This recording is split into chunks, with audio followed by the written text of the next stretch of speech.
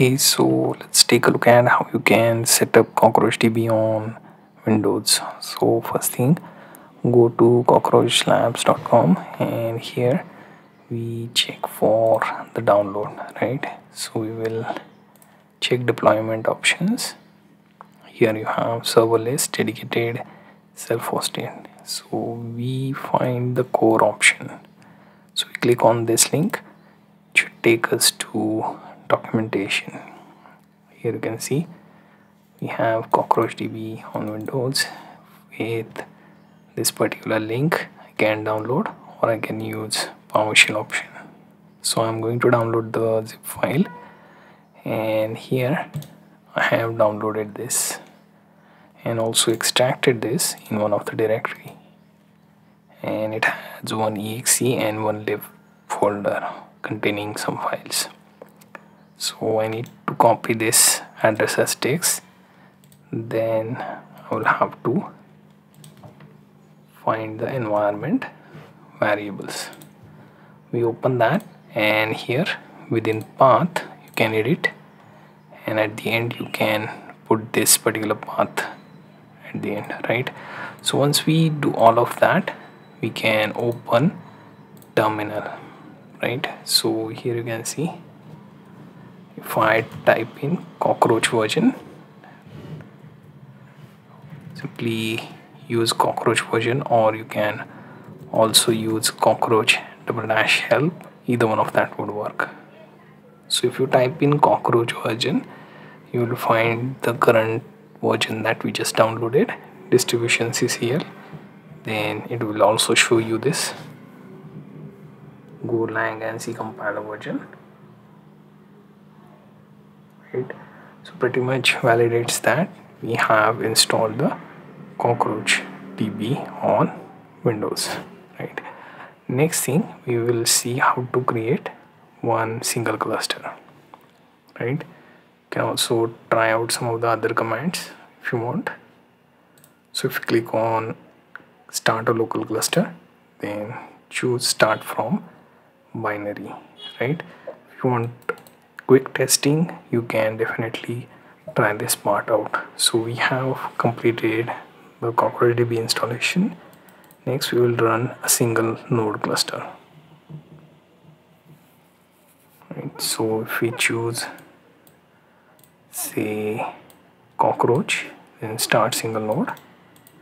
Let's see what works.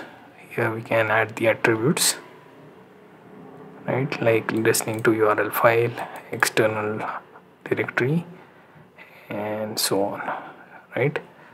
You can also use listening address right? So you can use specific address like http address socket directory etc so let's for a test we can run this command. Let's see what it will return if it says something like it also needs to look over a particular port or so here you can see it is asking me to set up the certificate right? To do that I will have to use this insecure for insecure cluster right? So insecure right and we have our cockroach db started.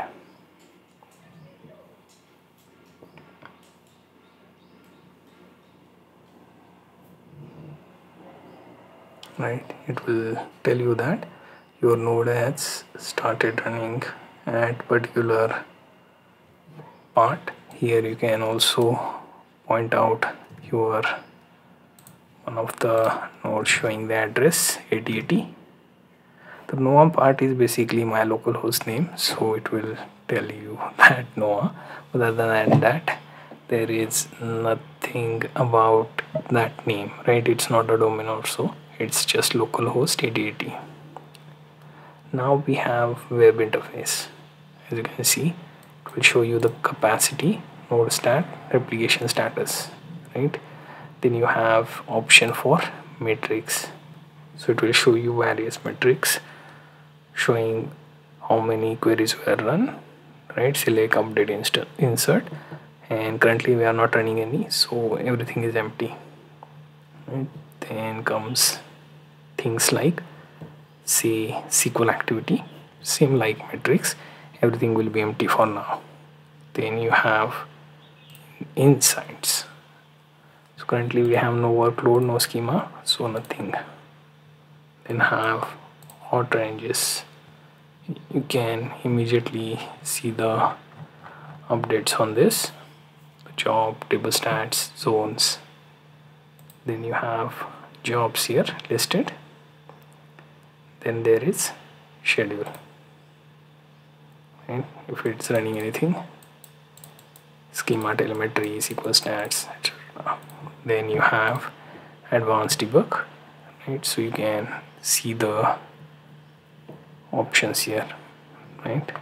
So for now we can move to databases right? Here you can see we have like three databases here showing default DB right? Notice that you don't have any option to create from the web ID for now right? So what we are left with is basically right so if I want to access this particular SQL option then I will have to just copy this right and paste it in some of the admin tools like dbeaver or so so let's say if I choose dbeaver and open this so we are going to URL for connection. Notice that SSL mode is disabled because I use insecure mode right? I will have to set up the certificate right? So we will also take a look at that part right? So here you can see option for insecure and there is also option for cert directory. So we mentioned the cert directory there. So we will have to also download the certificate. So here you see cockroach cert right? You can use cockroach cert open SSL or custom CA so let's see if we choose the cockroach CA cert. So what we can do is we can create the CA cert and key by using a particular path and part to CA key right? So we can use this particular option right? You can also use it for node as well and client cert key etc right? So this is something you will have to manually create. For example as you can see here they created two directories cert and save directory. Then they pointed out your cert to that directory key to another directory right? So basically when you use create dash ca you are basically generating for that directory right? And then you can use basically move to that directory give it the permission. This is specific for linux and a mac right? Then comes the pair right for your nodes then you can upload right? And it should work right? So for now if I just go to this dbeaver right? And if I choose connection and if I use cockroach db from others you can see cockroach db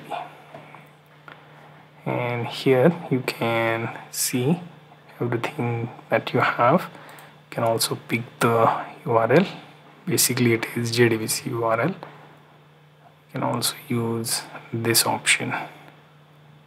Let's see if this works. So if it gives you that option you are good to go. So we download the driver. So url is invalid so we'll have to edit everything so edit the connection make it host. Let's see. Database we have default db right we don't have password.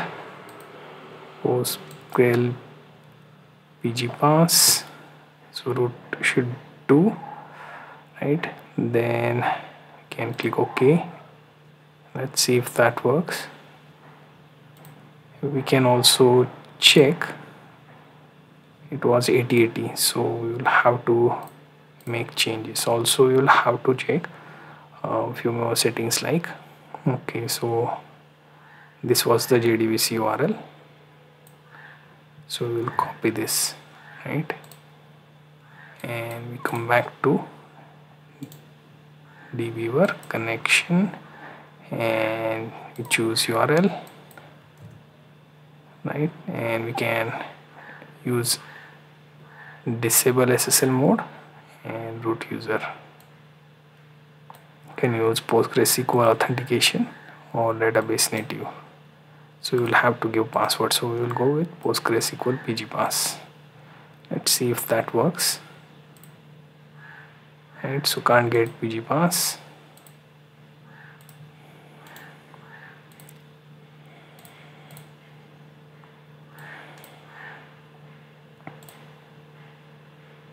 and there you go we managed to connect. So the change we made here in connection is basically you will have to copy this particular JDBC URL and then come back to your dbeaver put it into the URL option connect by URL and then check the database native and click OK. Should connect to your default DB here. Can now go ahead and create table right? So in this case you will be creating a schema right? So if you check the view database option you will see you have two default schemas which is public and CRDB internal. So everyone has that there as well right? So if you made it to this part. You managed to download the cockroach db you set it up on your windows system and also verified how it connects to dbeaver